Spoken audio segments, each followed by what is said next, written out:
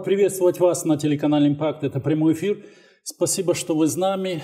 Петр Иванович Пасечник, приветствую вас. Приветствую, приветствую вас, приветствую всех также, кто нас видит сейчас, слышит.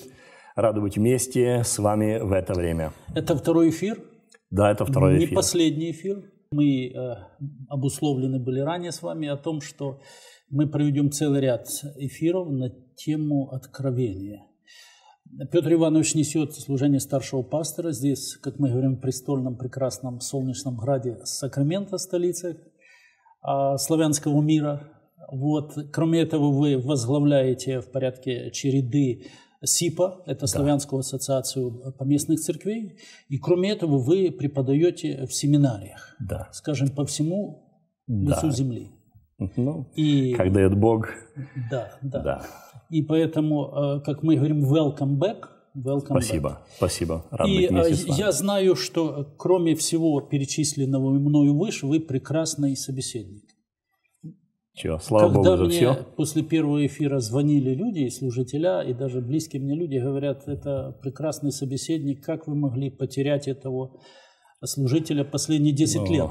Ничего. Говорю, Бог э, вовремя все делает, и Господь никогда не опаздывает. Да, Поэтому мы Богу. будем э, э, упущенное возобновлять. Кроме этого, мы говорим относительно того, что ваши э, церковные служения, проповедя будут идти в рамках уже эфирного времени на регулярной основе, пока мы будем решать ну, все технические да. вопросы. Да. Да. Поэтому, Петр Иванович, э, тема апокалипсиса – как мы говорим, учение о науке об эсхатологии – это интересная тема.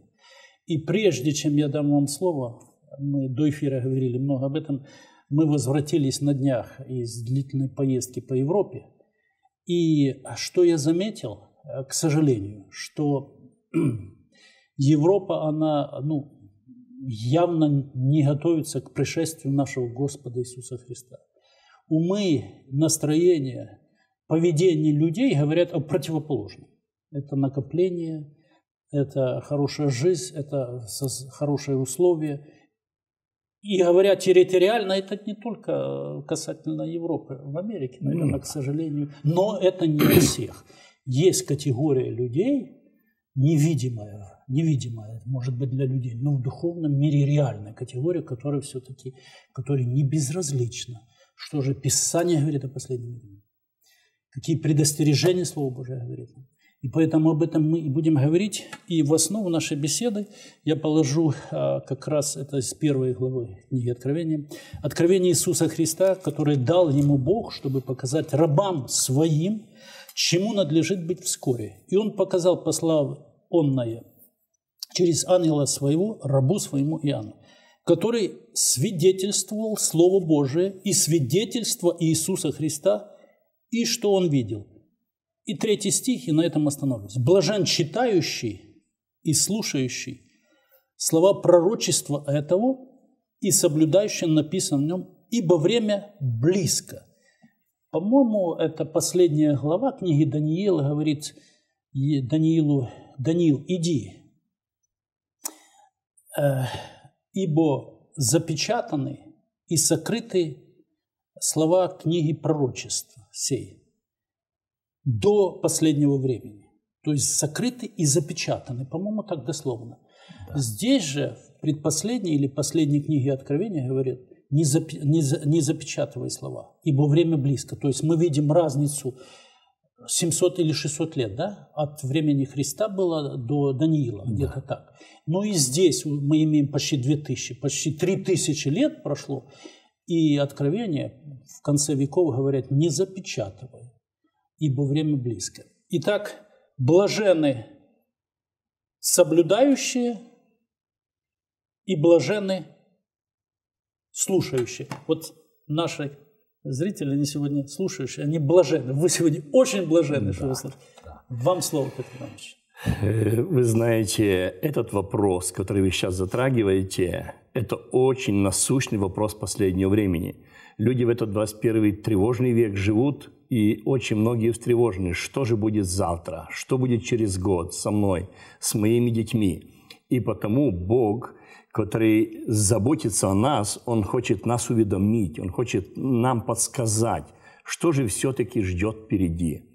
И сегодня очень много для того, чтобы заглушить голос Божий, когда Бог хочет нам подсказать, что будет, и Он с целью той, чтобы нас подготовить к этому, не с целью нас устрашить, что будет там великая скорбь, какие переживания, но через это нас подготовить, чтобы мы прошли, остались верными Ему, но при этом есть та сила, которая действует для того, чтобы заглушить, как вы сказали в Европе, о реакции, потому что тысячи голосов в эфире сегодня, заглушающих эту истину. И потому блаженны те, которые сегодня среди всех этих голосов умеют различать и слышать голос Божий, который призывает и говорит об этом, об этих моментах, что вы говорите. Я дополню еще так же, что и Христос сказал, Матфей записал, 24 глава, 13 стих говорит, «И так бодрствуйте, потому что не знаете ни дня, ни часа, в который придет Сын Человеческий. Время приближается, нам неизвестно это время, и мы должны готовиться для того, чтобы пройти, остаться верными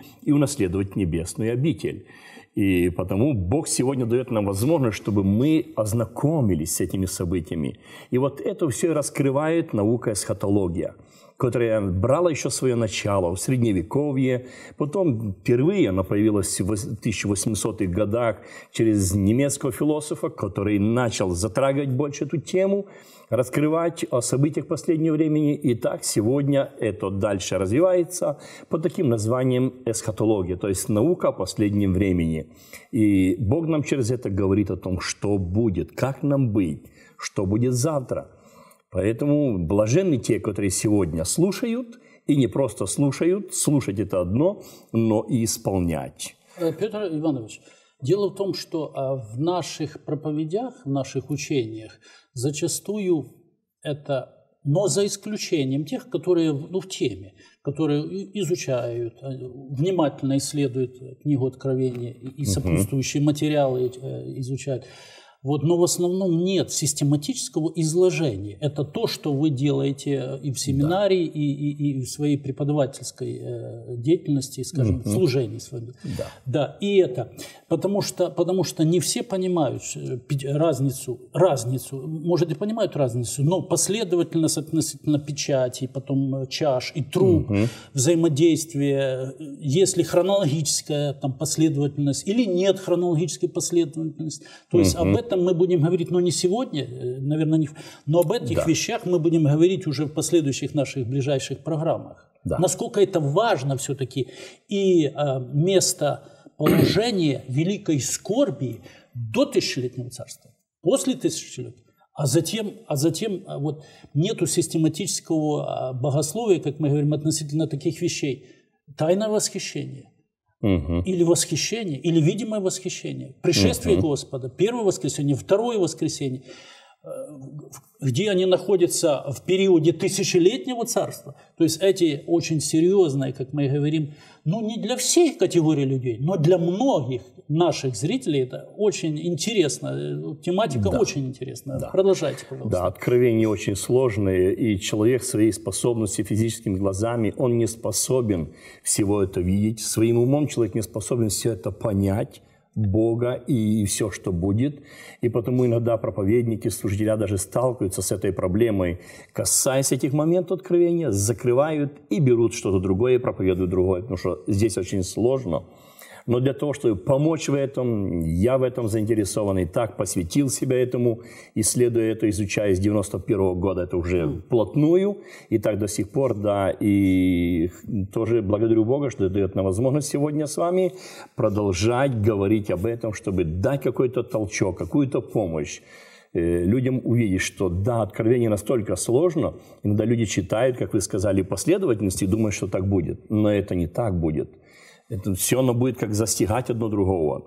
И потому сегодня хотел бы, чтобы мы заглянули именно, начиная шаг за шагом, mm-hmm. исследовать, касаться вот этих моментов, которые раскрывает нам Библия. По последнему времени. хотя бы по семи церквам, Да. хотя бы чуть-чуть. Да.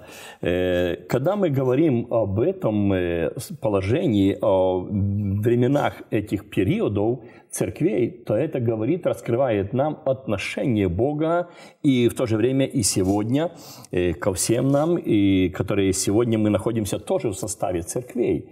И сегодня же Бог хочет тоже и нам через это открыть, сказать нам об этом положении, которое важно для нас, которое имеет большое значение в вопросе нашего спасения. И то же самое, как тогда Бог обращался к этим церквям и указывал на их недостатки, на их трудности, сложности. Помните, когда Бог обращался и показывал, что я вижу, вижу твое состояние, твое, твое положение, как Ефесской, Пергамской, Смирской, всех остальных церквей.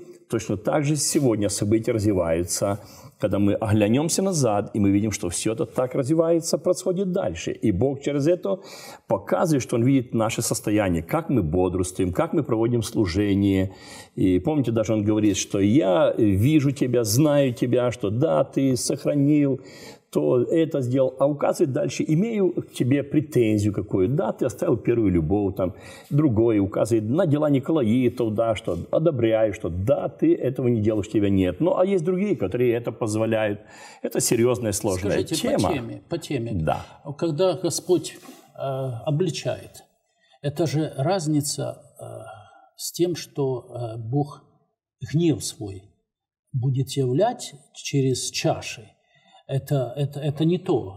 Гнев будет проявлен через, э, через наказание для церкви или не для церкви все-таки. Это я наперед забегаю. Да. Э, вопрос гнева вот этого, когда люди говорят, и некоторые даже задаются вопросом, как понять любящее сердце Бога, когда Он проявляет гнев? Да. Великая скорбь, надо это рассматривать, уметь видеть, она имеет свои предназначения, она имеет цель. Для чего Бог допустит великую скорбь? То есть вся эта, э, так сказать, э, ситуация, весь этот период, он разделяется на три таких момента, которые разделяются как суды чаш, суды печатей, суды труб, разные, которые имеют свое, так сказать, воздействие, но с какой целью? Для чего Бог это допустит? Во-первых, это шанс последний, который Бог даст Израилю.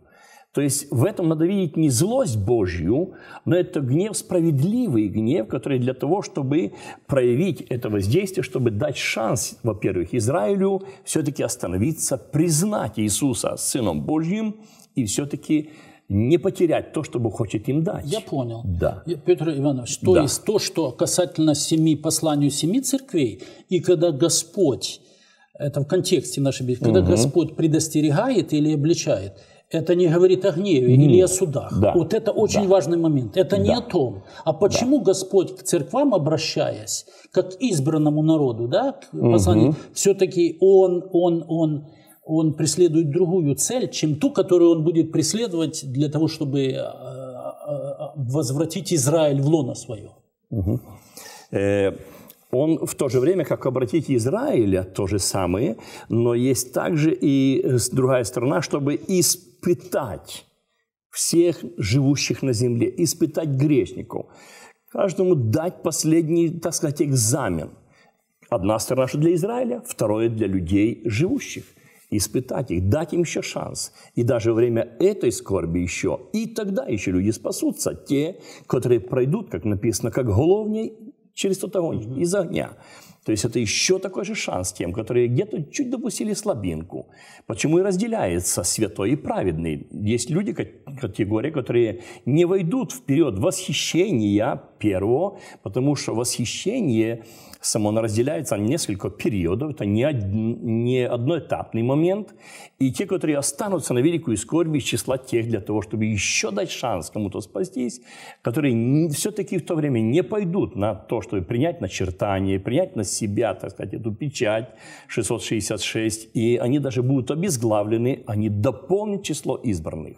Это еще такой шанс для них. Понял. То есть Но и возвращаясь к посланию семи церквам, все-таки вот то, о чем мы говорили, что когда Господь предостерегает и, и, и останавливает, и обличает, то есть Он это делает все-таки для своих, для своих, для так. своих. В первую очередь, конечно, всегда, это в первую очередь для своих, но в то же время Бог, любящий всю Вселенную, Он любит всех людей, но в первую очередь, конечно, Он обращается к своим, потому что и все свои тоже имеют свои слабинки – хотя и вошли в число святых, праведных, народ его, рабы его, но в то же время где-то есть слабинки его, чтобы им помочь восстановиться, исправиться, Бог через это действует. Это есть методы, через которые Бог формирует нас, методы, через которые Он обрабатывает нашу веру, наше состояние. То есть там написано «к рабам своим». Да. Почему э, нечестивый человек не может, если он и пробует, ему не в состоянии толковать откровение апокалипсиса. Да, э, потому что, э, как я сказал, человек не способен это видеть, и это может видеть только при том человек, э, случае, когда он соприкасается с Богом, и Бог дает ему эту способность, открывает при помощи божественной мудрости, не человеческой, а божественной. Когда Бог даст эту способность, даст эту мудрость, тогда человек может это уже увидеть. Пока Бог не дал, человек своей мудростью, своим зрением, своей способностью, мы являемся, духовно сказать, близорукие, а Бог дальнозоркий. И только через призму веры мы уже можем тогда это видеть. Пока мы ее не получили, мы не купили ту призму, пока не поставил эти очки, я не вижу те буквы, они расплываются. Точно так же и в этих событиях. Человек, который не соприкоснулся с Богом, а просто только интересуется, может быть, о Боге. Он может слышать о Боге, но Бога не имеет, не знает, он не может это увидеть, он не может этого пережить. Продолжайте. Да. Так что потому очень важно сегодня, в это такое тревожное время, когда перед нами то, о чем люди говорят, что вот впереди великая эта скорбь, очень важно сегодня задуматься, как это, что это будет за великая скорбь, какие это будут переживания, как мы сможем пройти. И Бог нам это дает через, через Иоанна, Он об этом говорит нам. Во-первых, для того, чтобы обратить Израиля, то же самое э, так сказать, признанию Иисуса Христа, так, чтобы нас испытать то же самое. И Бог обещал, что Он будет избавлять своих, как вы коснулись, что своих. Бог обещал, что Он избавит своих. Он так сказал, Откровение 3 глава, 10 стих, Он сказал такие слова, говорит, «И как ты сохранил слово терпения моего, то я сохраню тебя от годины искушения». Обратите внимание, говорит, «сохраню от» не до, не того, а от годины искушения, которая придет. То есть она впереди, ее еще нет, но она придет на всю Вселенную, чтобы испытать живущих на земле. Это великая скорби. Это время великой скорби. искушение да. – это великая скорбь. Да, вот это тот экзамен, который мы будем проходить. И он говорит, но это пошлет для того, чтобы сохранить. Он говорит, как ты сохранил Слово Мое. То есть зависит от того, как мы в каком отношении с Богом. Если мы с Ним в отношении сохраним Его Слово в своем сердце, тогда Он проявит тоже защитное действие и нас от, говорит, от того, э, укроет, защитит. Так само, как Он поступил с Израилем. Когда там было горе, страдание, плач, теряют первородных всех – так, такая беда. А одна только кровь защитная на этих дверях, на косяках дверей. Там дальше покой, спокойно. Почему? Потому что там они признали, повиновались послушались. Та же самое важно нам сегодня тоже прислушиваться Бога, иметь его в своем сердце, быть с ним в тесном контакте. И он говорит, от этой годины, от этого бестия он проявит действие защищающее. Вот это и заставляет всех богословов, всех проповедников задуматься, когда мы говорим об этом, где же будет церковь, верная, истинная церковь Христа она пройдет через великую скорбь, или она раньше будет взята, или она будет взята во время великой скорби. Через три с половиной года. Да, и вот тут и разбегается мнение богословов. Одни говорят, что церковь Бог заберет до великой скорби начала, другие говорят, это пройдет, она должна пройти великую скорбь, а третьи говорят, во время великой скорби. Но вот этот стих конкретно говорит, сохраню от годин. То есть в нашем вероисповедании вы учите, да, да. в евангельском да. вероисповедании, Э, христиан евангельской веры или... Э, вы знаете, я здесь путаю. Угу. Кто-то называет нас христиане евангельской веры, а меня один брат попро... угу. поправил. Нет, нет, нет, мы называемся евангельской веры христиане. Угу. Я говорю, так это игра слов. Нет, нет, нет, там вот что-то то есть мы христиане евангельской веры или веры евангельской христиане? Кто мы, Петр Иванович? Мы, э, во-первых, я всегда ставлю слово христиане. Ага. Во-первых, мы христиане. Чего? Mm. Какие христиане? Да. Кому принадлежим? веры евангельской. Веры евангельской. Да, в это число входят и баптисты, и пятидесятники, и адвентисты, я не исключаю. Я преподаю и у тех, и у тех, так что То есть, Бог, то есть мы словом- одна семья. Другим словом, мы сегодня смело можем заявить в прямом эфире, Да. что все-таки церковь Так. Иисуса Христа, она не пройдет э, период великой скорби. Да, она только с самого начала, Частично. вступительную часть, она, так сказать, увидит, но это не будет еще э, событие такого горя огромного, а такое будет идти такое э, обольщение, учение такое, отрывающее людей от истины, для того, чтобы люди доверились Антихристу, чтобы приняли начертание, и в это время, в первоначальном периоде этого времени, Бог свою церковь заберет.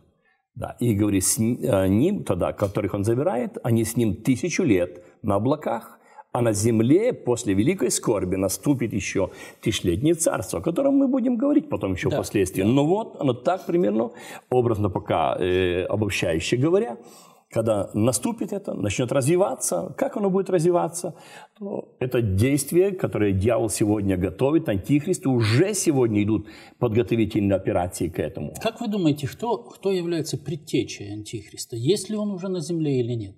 Предтеча. Да, Э, то есть, э, который выполняет подготовительную работу для того.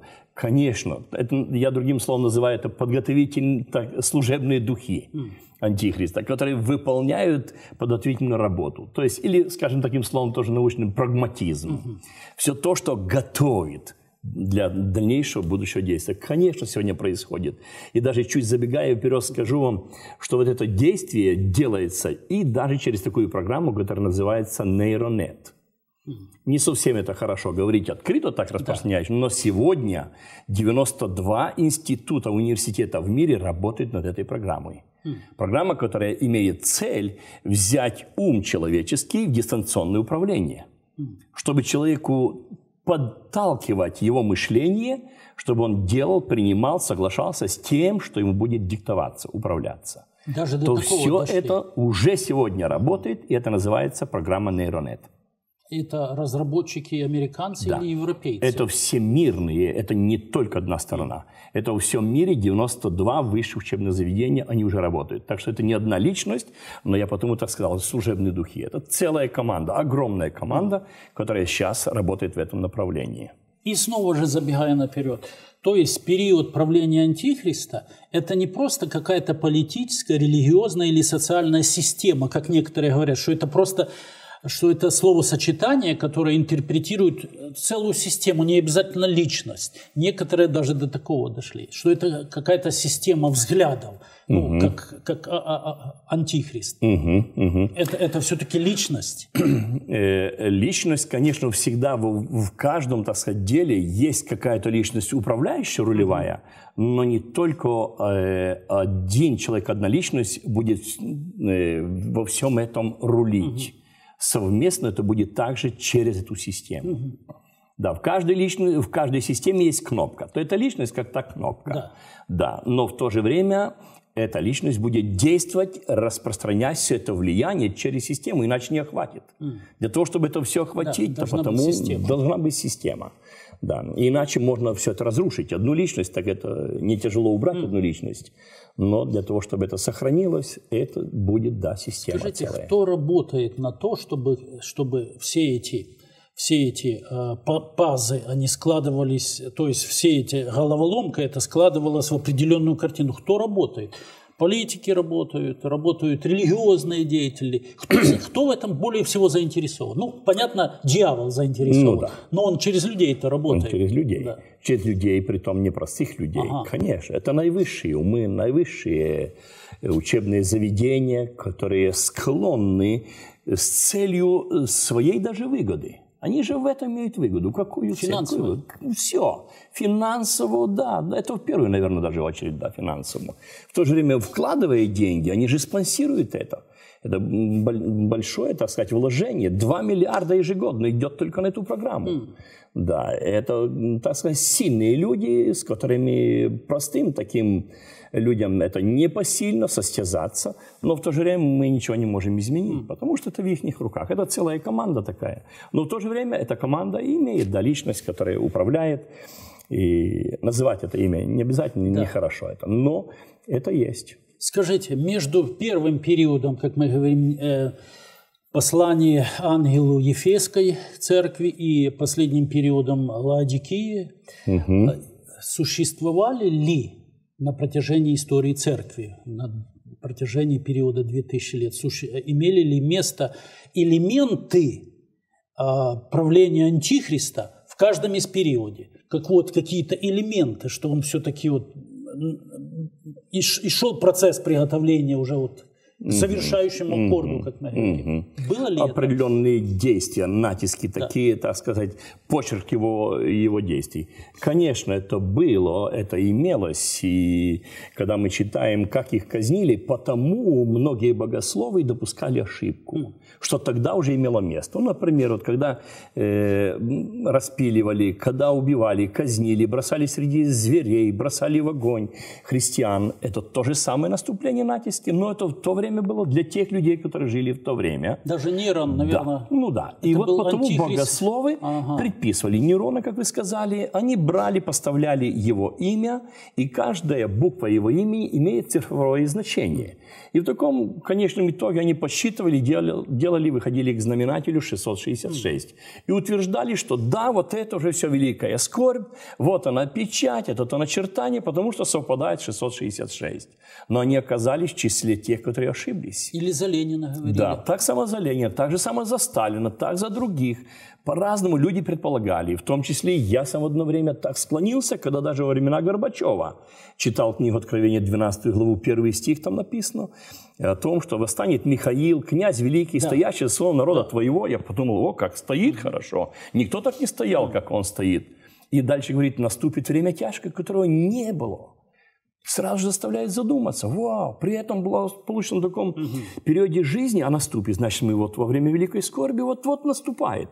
При нем, оказалось, его уже давно его сняли с того престола, хотя он сегодня является тоже одним из спонсоров команды одной такой. Ну, как есть, так есть. Но факт то, что в то же время я убедился в этом, что чтобы не быть в числе ошибающихся, не надо предполагать, э, поставлять Личность, это имя, да. считать. Бог нам говорит для того, с целью, чтобы нас подготовить, утешить, что будет, и чтобы мы не страшили, чтобы мы были готовы пройти, что бы мы не встретили. Все-таки мы должны готовиться к правлению Антихриста или к приходу нашего Господа Иисуса Конечно. Христа? Конечно, к приходу, к встрече с Иисусом Христом. А то, что Антихрист, то просто если мы уповаем на Бога, будем иметь Его в своем сердце, будем иметь печать, залог Духа Святого, это придаст нам способности остаться верными, пройти через все, что мы бы не встретили, и войти в небесную обитель. Э, Петр Иванович, согласны ли вы чуть-чуть хотя бы потому что вы глубоко в теме и преподаете много на этот счет. Согласны вы хотя бы чуть-чуть приоткрыть нам завесу? Угу. Хотя бы чуть-чуть по времени. Да. А по знамениям, а знамения последнего времени да. по Писанию, они разворачиваются на наших глазах, да. как мы говорим, красноречиво. Да. Согласны Красный, ли да. вы приоткрыть завесу? Все-таки детям ли или внукам ли нашим угу. будет иметь место начало Великой Скорби? Да. Или рановато да. я задаю вопрос? Нет, вы вовремя задаете, потому что мы не знаем, когда это может начаться более активно, но сегодня уже идет этот процесс, и кого-то уже даже захлебнуло, так сказать. И потому очень важно сегодня быть внимательным к тем голосам, которые уже работают. Это обольщение уже имеет, так сказать, свое действие. И когда мы читаем вот Откровение 6 глава, 2 стих – который начинает нам раскрывать, как он действует лукаво для того, чтобы захлебнуть нас, как дедушек, бабушек, сыновей, дочерей и дальше внуков, правнуков, будущее поколение, то здесь говорит во втором стихе 6 главы книги Откровения, Иван написал, говорит, «Я взглянул, и вот конь белый, и на нем всадник, имеющий лук, и дан был ему венец». То есть этому всаднику дан венец. И вышел он как победоносный, и чтобы победить. Вот это уже показывает сразу нам об этом хитром, тонком, таком лукавом действии, которое приносит ложное учение отвлечь. Во-первых, когда мы читаем этот стих, мы можем заметить, что конь белый. Да. Все люди допускают мысли, о, так это от Бога, это же хорошо. Да. Но это не так, это замаскированный. На, на коне всегда победитель приезжал в город, который держал победу. Люди встречали его. И это символизировало победителя. И вот он принимает вид этот, принимает вид ангела света, написано. Дьявол настолько маскируется, принимая вид ангела света. На нем этот садник, но в руке у него, как мы прочитали, да. лук. О чем говорит слово «лук»? То есть его сила ограниченная. Он не может своей силой поразить, достать далеко. Лук может на определенное расстояние, скажем, там 30 метров, 50 метров, даже пускай 100 метров, но на километр, на 10 угу. он не достанет. Значит, это показывает, что мы должны задуматься над этим. Кто на этом коне? Это Христос? Конечно, нет. Христос не ограничен своей власти и силе. Но а на белом коне всадник. Значит, это говорит о том, что вот он как маскируется и идет под видом Христа с целью победить. Он идет как победоносный, принял вид победителя. И даже говорит, и был дан ему венец. То есть, как это звание, вот вроде бы он победитель, но слово само, которое говорит, как победитель, снова нас, всех христиан, проповедник учителей, заставляет в этом видеть. Христос не, на Голгофе, он не был как победитель, угу. а был победитель. Да. Он одержал победу. Угу. Потому это значит, это, что Бог открыл Иоанну, сегодня подсказывает нам, что это подмаски... замаскировано, построено. Да. Ложное такое учение, которое сегодня приходит к людям, чтобы люди доверились, признали его, приняли его. То есть, как Христос был на земле три с половиной года, проповедовал, ходил во плоти на земле, так дьявол сегодня, антихрист тоже пытается, уже начинает это делать, и делает, и будет делать с целью тоже увлечь людей за собой. То есть, есть параллели. Да. И, кстати, он, параллельно. дьявол, он прекрасный э, копирователь. Да, да. Он также самое копирует. Он идет как победоносный, принимает вид что он победитель, но на самом деле он не победитель. И потому сегодня мы должны быть осторожными, чтобы не попасть под это ложное учение. Э, друзья, у нас в эфире Петр Иванович Пасечник, э, старший пастырь церкви. Название церкви, пожалуйста. Сион. Сион, да, совершенно верно. Мы беседуем относительно науки эсхатологии или апокалипсиса, наука о последнем времени. А если так вы коснулись э, всадников – Кроме этого, там э, в Откровении и другие всадники есть. Да, да. Когда мы э, сталкиваемся с э, изучением книги Откровения, то после этого, когда мы видим вот этого, так э, немножко обговаривая всадника, который идет с, с таким хитрым ложным учением, когда мы посмотрим дальше на второго всадника, и интересно, даже цвет указывается. Откровение 6 глава, 3 по 4 стихи описывает его и называет этого всадника, который идет по цвету рыжий конь. 6 глава, 3-4 стих. Когда он снял вторую печать, я слышал второе животное, говорящее, иди и смотри. И вышел другой конь, конь рыжий, и сидящему на нем дано было взять мир с земли, и чтобы убивали друг друга, и дан ему большой меч. Бог войны с маленькой буквы, или да. кто это?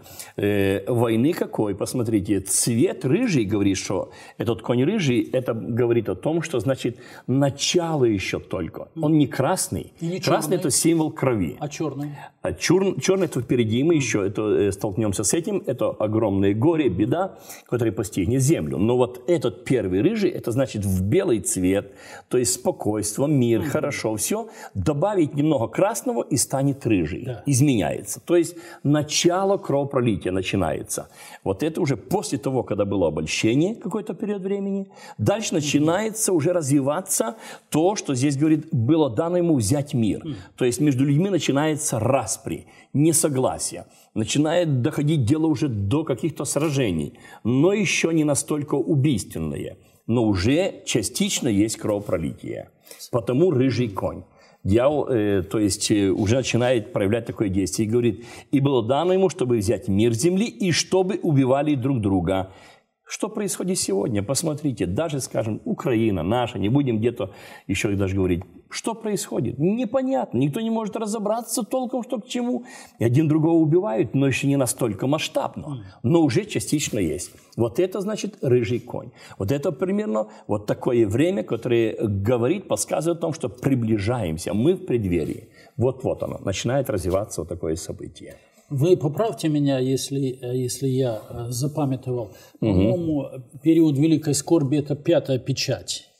Э, пятая печать, да? Или было переплетение? Во время Великой Скорби она разделяется на три части судов. Да. Суды печати. То есть э, этот момент Великой Скорби разделяется на суды печати. Первая печать – это идет обольщение, первый всадник на белом коне. Вот этот всадник рыжий, это уже идет под второй печатью. Понял. Когда снял вторую печать, говорит, когда он снял эту вторую печать, печать говорит о том, что было недоступно, никто не имел права, никто не знал, не видел. Кто дает право снять печать? Кто может это сделать? То есть это попущено, дано время от Бога, когда Христос позволяет уже, как Иову, не имел возможности дьявол коснуться его, но когда Бог позволил, тогда он начал терзать его тело. Тогда начал издеваться, так сказать. Так и это, время великой скорби. Если Бог не допустит, если печать не будет снята, он не сможет этого делать. Но наступит момент, когда Бог снимает, то есть Бог позволяет, чтобы это развивалось. С какой целью? Для того, чтобы все-таки пришел тот момент воздаяния, который Бог хочет воздать своему народу за их добрые дела. Те, которые не примут Бога, получат за свои дела. Потому Христос говорит, что Он грядет, чтобы воздать каждому по делам Его.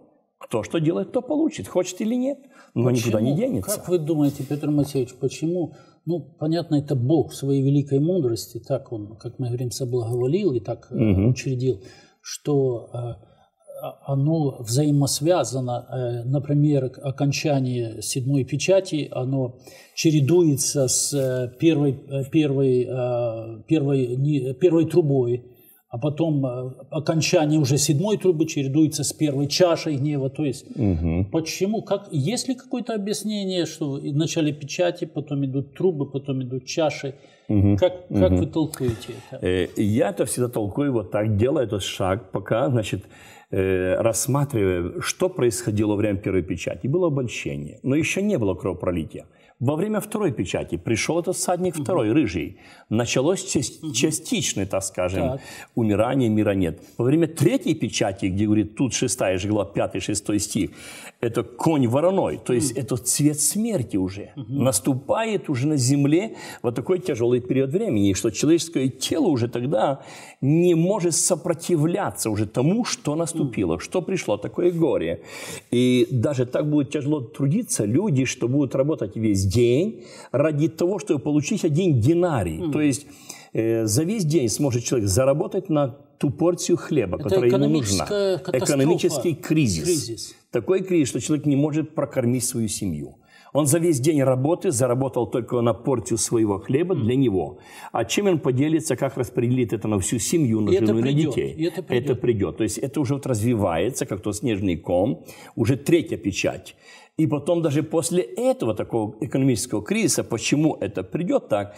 Потому что Бог допускает, что происходит во Вселенной такое влияние, воздействие, что поражает э, растительный мир, поражает воды, поражает все, что в водах.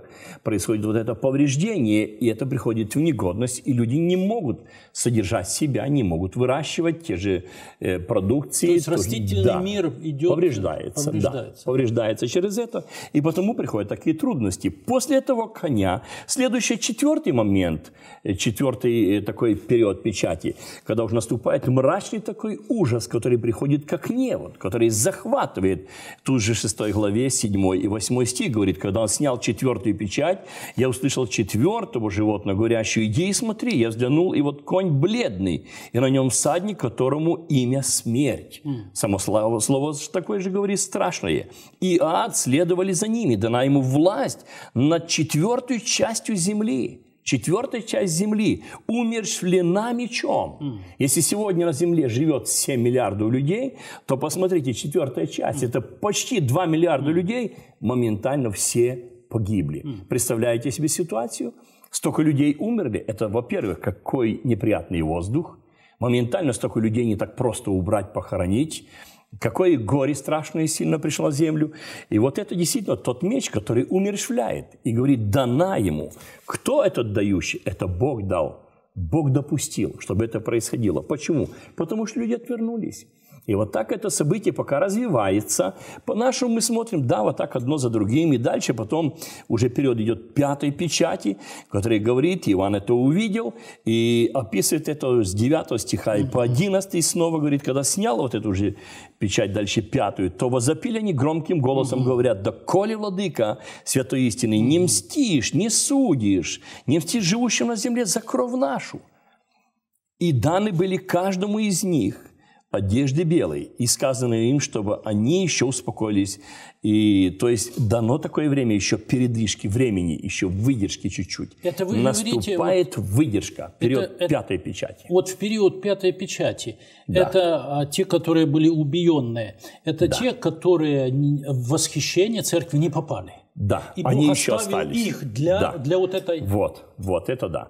Они остались, прошли, как бы сдали тест – они не сломались, они не приняли mm-hmm. то начертание, но они дополняют, они при, приходят, да. они получают снова те же одежды, то же самое, они дополняют. Mm. Пришли от великой скорби, да.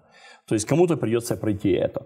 Во время шестой дальше печати вот так развивается событие. То есть пока печати э, рассматриваем, вот так смотрим одну за другой. Дальше идет шестая печать. Ну и во время шестой печати то же самое говорит, что о том, что настолько будет поражено и солнце, и луна, и звезды. Что же является, что говорит, что луна сделалась как кровь. Э, Откровение 6 глава, 12 стих. Что такое луна? Она не имеет своего света она отражает да, свет солнца. Да. Мы с вами, христиане, сегодня мы уподобляемся этому. Мы свет миру, он, говорит, Христос называет нас. Мы должны отражать. И тут говорит, и в то время померкнет луна. То есть что произойдет? Вера в народе угаснет настолько. Не будет того отражения, не будет вот этой отдачи, не будет этого происходить. Такое будет поражение сильное. Люди не выдержат многие. То есть многие сдадутся, скажем таким словом, упадут в этом не выдержит этого натиска. Звезды, написано, тоже спадут с неба. О чем это говорит? Звезды, то есть люди, которые отличались чем-то, видны. Мы называем в этом мире звезды, да? То же самое померкнут, упадут. То даже есть, в христианском да, мире. Звезды. Даже в христианском мире. Потому сегодня мы можем слышать об этом, что да, вот там тот упал, этого сняли служение, там это произошло. И сегодня этого есть. Даже за последнее вот сейчас время, последние дни, и не говоря где-то ком-то. Но у нас в Молдавии даже, откуда я сам родом, последние дни троих служителей сняли со служения. О чем это говорит? Вот те же звезды, вот начинается вот такое же подобное действие, умрачающее сияние, отражение света этой луны, тех звезд. То есть, когда мы вот-вот как шаг за шагом когда идем. Мы, когда мы интерпретируем толкование э, откровений, и когда встречаются вот такие вот истины – о чем вы говорите, мы переносим их в плоскость нашего, дух, нашей духовной жизни, так. потому что всякая истина параллельно. параллельно. Да, так. да, да, да. Так. Это очень интересно, так. очень интересно. И то, что мы видим сейчас, то это как те шаги, да, подтверждаешь ты, что вот, вот, значит, мы где-то вот в этом преддверии. То есть, то есть Петр, Петр Иванович, получается, что э, печати это печати это начало, и оно идет по восходящей, нарастающей. пока, по нарастающей, пока да. не идет уже через трубы э, к чашам, уже это уже это, иллюмин, это иллюминация будет, не иллюминация, угу.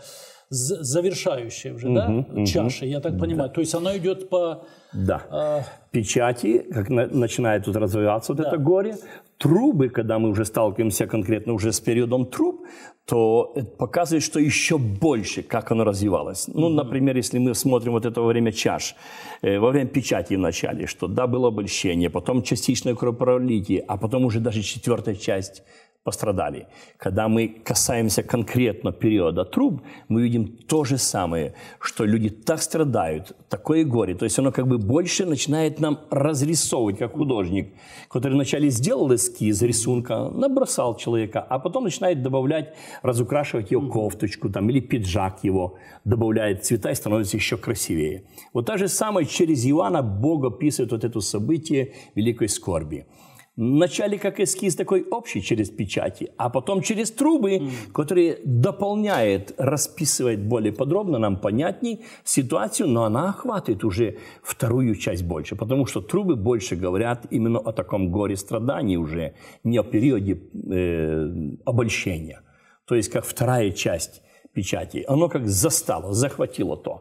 Когда описал периоды этих труб, что будет происходить, когда это будет проявляться, когда позволено уже им, что они издают свои звуки. Почему труба? Труба – это сигнал определенный. В армии, когда э, служили братья, кто служил, утром подана команда, вышел один э, с трубой в руках, издал звук, сигнал «подъем всем, вставайте».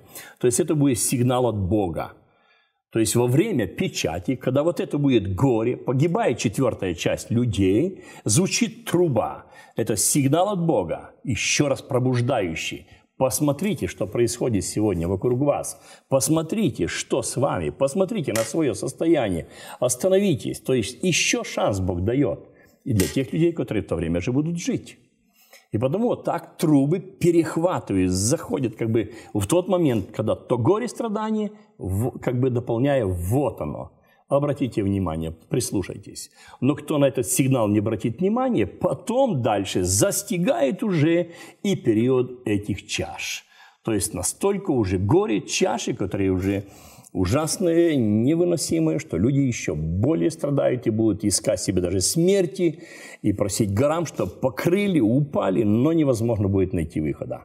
Потому что чашу, когда выливаешь, ты не можешь остановить, оно дальше потекло, кругом распространилось. А, мы говорим сегодня относительно такого, казалось бы, маленького периода, включающего и печати, и трубы, и чаши, э, семилетний период скорби – мы еще в будущих программах будем а, относительно Армагеддона говорить, да. потому что ряд из, из наших зрителей, они путают, э, ну, да. в какой части из этого, Когда из этой это будет, что это Совершенно такое? верно. Потому что эм, я так понимаю, что Армагеддон ожидает э, в конце тысячелетнего царства. Да. Это же не в начале тысячелетия. Да, так. поэтому эти вещи очень да. правильно да. Э, расставить да, на да. свои места. Некоторые даже учения по этому вопросу, особенно со стороны святителей Иеговы, были, я помню, даже в 1974 году, и мне лично говорили, вот уже Армагеддон сейчас. А где же он? Великой скорби еще не Конечно. было. Великая скорбь говорит конкретно, что будет такое время, когда мы не сможем ни продать, ни купить. Да если мы сегодня можем купить и дом, и два, и три, кто сколько купит, я лично, нет, я живу в ренте. Но если человек может сегодня купить и пару домов, и пару машин, то это еще не горе. Дай а Бог, чтобы мы при таком жили еще дальше а долго. бизнесмены, бизнесмены, благословите этого служителя, благословите. Ну да, да.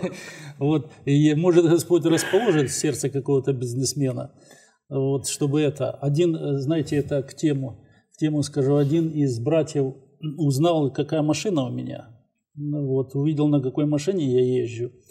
И мне звонит через несколько дней, а у меня машина 96 э, год, э, Toyota такая, на которой ага. 300 тысяч пробег. Он звонит, говорит, братюра, Lexus, дарю тебе красивый, красивый хороший Lexus.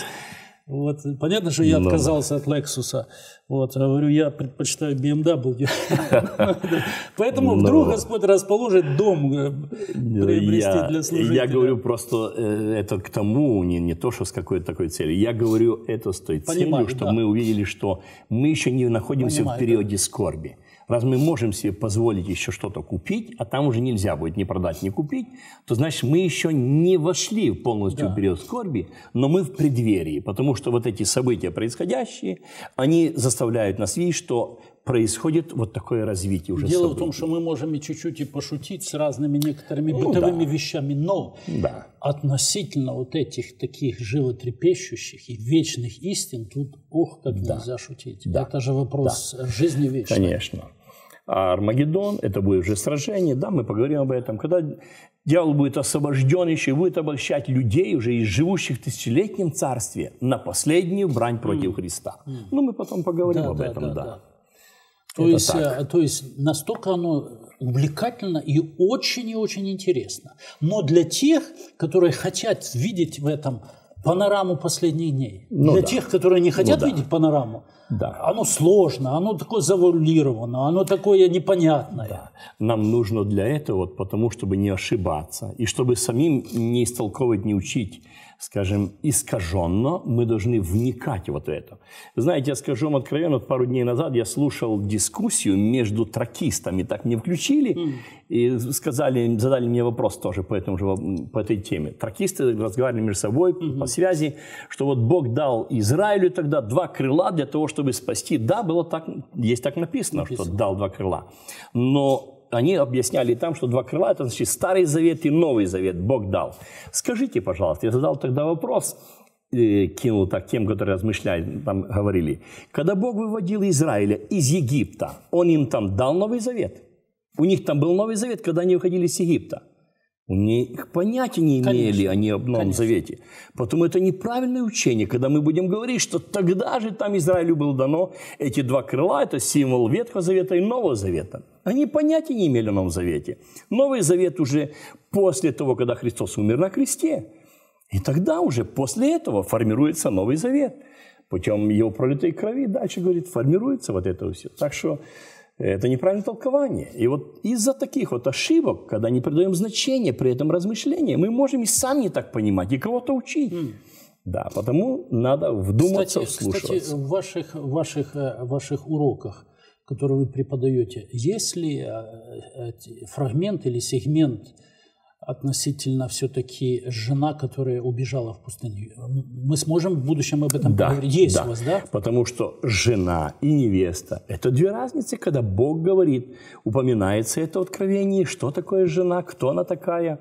Так же самое, э, когда речь уже дальше идет о невесте, кто она, что.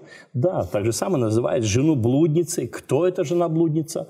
Да, если будет возможность, буду рад поделиться этим.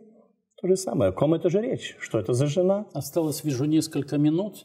Почему, э, почему вот в ваших изысканиях все-таки а, вы э, решили, ну это от Господа приходит, я понимаю по большому счету, почему вы решили углубиться все-таки в откровение и, и преподавать этот предмет? Наверное, меня так толкнуло, что тогда, когда я поступил в семинарию первую, у, у, это было в Одессе, у Санникова в 91 году, да, да, да. один из просветеров попросил меня, чтобы я нарисовал схему этих событий. Mm. Как они будут развиваться. Он поделился немного со мной этим мнением, мыслями и предложил, говорит, ты мог бы нарисовать? А я, как э, в прошлом был и художником в то же время, это mm-hmm. параллельно. И я нарисовал тогда такую схему, большая, как этот экран ваш, mm. примерно такую тогда нарисовал. И это меня начало тянуть к тому же. Я же рисую, я же пишу, ставлю. А что это подробнее? И вот так оно тянуло меня с тех пор, и я стал вникать в это, исследовать. Потом мне попала также литература уже, которая служила мне как в помощь для этого размышления. Стал над этим работать mm. и развивать так. Мне стало это просто интересно. Потрясающе, интересно. Несколько недель назад, буквально в Риме, с нашими некоторыми сотрудниками, мы были в библиотеке Ватикана. Вот и ходили люди туда-сюда, и там огромная картина, нарисованная, написана, точнее, угу. одним из выдающихся в свое время, несколько сот лет назад, живописцев. Называется «Страшный суд». Угу. И вот там нарисована, это вот, так сказать, картина, панорама страшного суда. Угу. Я так ходил и смотрю, и, и кто-то улыбается, кто-то смеется, кто-то там над чем-то шутит, а я думаю, это намного серьезнее, Конечно. так в душе. И с друзьями мы начали, это намного серьезнее, чем эта картина. Ну, да. Человека ждет страшный суд, да. и, и, и этому быть место, этому да. быть место. Так. Поэтому а, наша, а, наша цель сегодня, друзья, чтобы все-таки заострить внимание, может, некоторых из вас, из нас, относительно этих серьезных, очень серьезных. А, мой отец так говорит, любит говорить, совсем можно пошутить, но с вопросами жизни вечной и спасения шутить никак нельзя. Да. Я бы попросил, Петр э, Иванович, чтобы вы совершили молитву сейчас. Наша программа завершается. Но не завершается работа Духа Святого твоей жизни, может, в твоей семье относительно этих э, откровений, которые, о чем мы говорили. Мы встанем на ноги да. и совершим молитву. Пожалуйста. Отец наш Небесный, пред величием Твоим преклоняем голову сердца. Господи. Из глубины сердец выражаем Тебе благодарность за то, что тебя. Ты есть наш Отец, Ты наш Спаситель. Тебя. Мы преклоняемся пред Тобой и благодарим за это время, что мы могли провести вместе, тебя. рассуждать над Словом Твоим. Благодарим, что Ты нам, Господи, показываешь, открываешь, говоришь о тех событиях, которые впереди. Это подтверждаешь, что Ты нас любишь, Ты озадачен нашим будущим. Господь. Помоги нам, Господи, дальше вникать, вдумываться и проанализируя свою жизнь, стремиться стремиться к тому, чтобы достигнуть и быть участниками той вечной радости. Помоги, Господи, каждому благослови всех, да будешь Ты прославлен в нашей жизни, Отец, и Дух Святой. Аминь. Аминь, аминь. Друзья, благодарим, что вы были с нами. Петр Иванович Пасечник был с нами. Мы будем снова встречаться в следующей программе. Помните, Иисус Христос любит вас. Мы начинали с того, с третьего стиха первой книги Откровения, первой главы книги Откровения. Блаженны соблюдающие и слушающие. Поэтому Бог да благословит вас соблюдать и слушать, и принимать. Всего хорошего. Иисус Христос любит вас, мы также любим вас. Оставайтесь с нами на импакте и будьте благословены. Спасибо. Спасибо. Спасибо. Спасибо. Спасибо. Спасибо.